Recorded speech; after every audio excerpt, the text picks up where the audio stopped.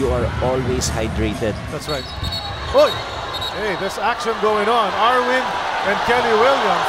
And Kelly Williams basically threw Arwind Santos to the ground. We saw this happening as early as the first quarter when Arwind Santos started taunting the entire Talk 'N Text bench and no warning whatsoever. It was just a matter of time.